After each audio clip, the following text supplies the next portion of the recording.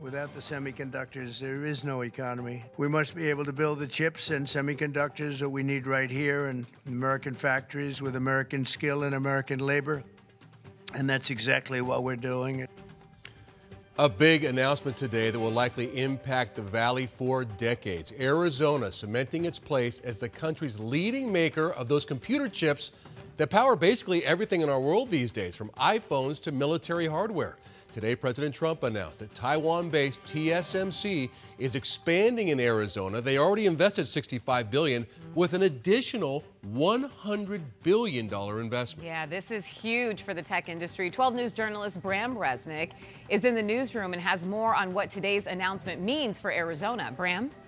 Yeah, Caribe, TSMC is the world's largest maker of computer chips. Five years ago, it announced plans to establish an American beachhead with chip factories in the barren desert of northwest Phoenix. The expansion announced today will more than double TSMC's current spending on factories and likely supercharge billions of dollars worth of housing and business development in the Northwest Valley. President Trump was joined by TSMC Chairman and CEO C.C. Wei at a White House news conference to announce the $100 billion investment. Here's what we know. TSMC will build three new chip making plants, two chip packaging plants, and a research and development facility. This new investment comes on top of the existing $65 billion plan for three chip making plants. The company projects 40,000 construction jobs over four years and tens of thousands of semiconductor related jobs. This is a tremendous move by the most powerful company in the world. It's a matter of economic security. It's also a matter of national security for us.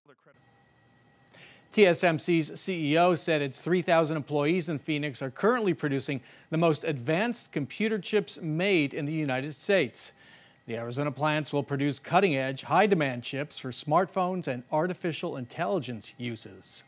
In the newsroom, Bram Resnick, 12 News. Yeah, do we know where they're getting started, Bram? I mean, that's an amazing, I mean, $100 billion. If you go up there, and I'm sure you've been up there, that plant is massive. Yeah. Thinking they're going to more than double that is incredible. Uh, they're going to more than double that. They're still not finished with the first part of the plan, building three, three plants. They've got two so far, one of them online, one more to go to get online, and then I imagine they'll commence with the, the next three. Wow. wow. Yeah, that's major. All right, Bram, thank you.